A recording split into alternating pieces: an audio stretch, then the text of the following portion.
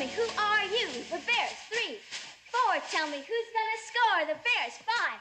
Six, tell me who's got the kick? The Bears. Well, that was the beginning. What do you think? It looks like you're swatting at flies. What are you knocking yourself out for?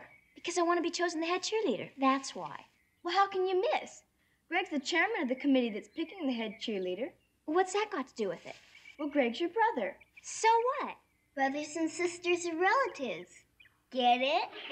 Cindy, I'm gonna win this fair and square, brother or no brother. Hi. Hello.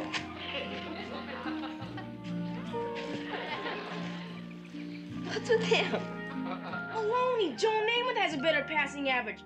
Almost 6 out of 10, that's 60%. But Roman Gabriel has a better passing average. I'll prove it. Greg, what's Joe Namath's passing average? 8149031.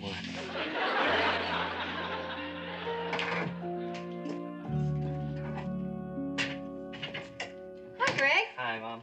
How was school today? Couldn't be better. Hi, Alice. Hi. I think he's invented a new subject frozen geometry. What's so important about being an old cheerleader anyway? Well, it's a great honor. It shows you've got spirit, helps you inspire people, and you get to meet all the football players. Let me see now. I better try that one more time.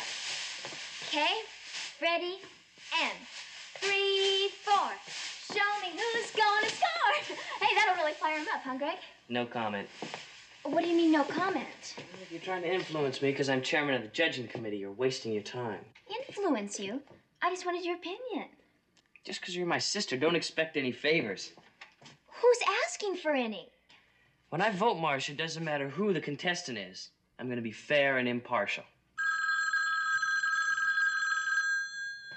Hello? Hi, Greggy. Oh, just a minute. Do you mind? I'd like a little privacy. My pleasure.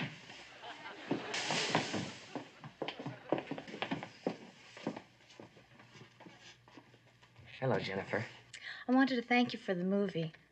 I just found out the craziest coincidence.